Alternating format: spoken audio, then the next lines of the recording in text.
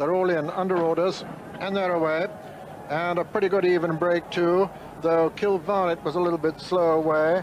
And as they settle down in the early stages, Itam Fagala has gone on from the Princess Royal on the inside on 10 no trumps. Then on the outside comes Emperor Hotfoot behind them, Hamlul. And then on the inside is Common Cider Gypsy. Just behind them, Tahila and it's Itam Fagala in the lead as they pass the six furlong pole. From 10 no trumps in second. Then third is Emperor Hotfoot. Four is Common Cider Gypsy. Then comes Tahila. Then Hamlul on the outside. Then making good ground just behind him is Water Boatman as they race past the five furlong pole. Still Itam Fagala in the lead. From 10 no trumps. In third is Emperor Hotfoot. Close, then Common Cider Gypsy, then Tahila in fifth, behind Tahila Hamlul, then Torrance, and then comes Water Boatman with on the outside of Water Boatman Rondeling going well. But as they race to the home turn, it's just 10 no trumps who hits the front from Emperor Hotfoot.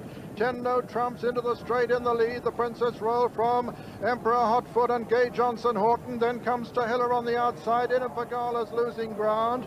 Making quite good ground behind the leader still is Rondeling. They're coming down to the two furlong pole and it's 10 no trumps who's hit the front over on the far side. 10 no trumps from Common Cider Gypsy in second and Tahila coming there strongly on the stand side. But it's 10 no trumps and the Princess Royal in the lead as they enter the final furlong from Common common side of Gypsy and Tahila the favourite and getting a tremendous chair the Princess Royal she's going to win it racing up to the line it's 10 no trumps who's clear and who's going to win it in tremendous style 10 no trumps wins the Dresden Diamond Stakes Tahila in second and third is Common Cider Gypsy and fourth was Rondeling. That's the one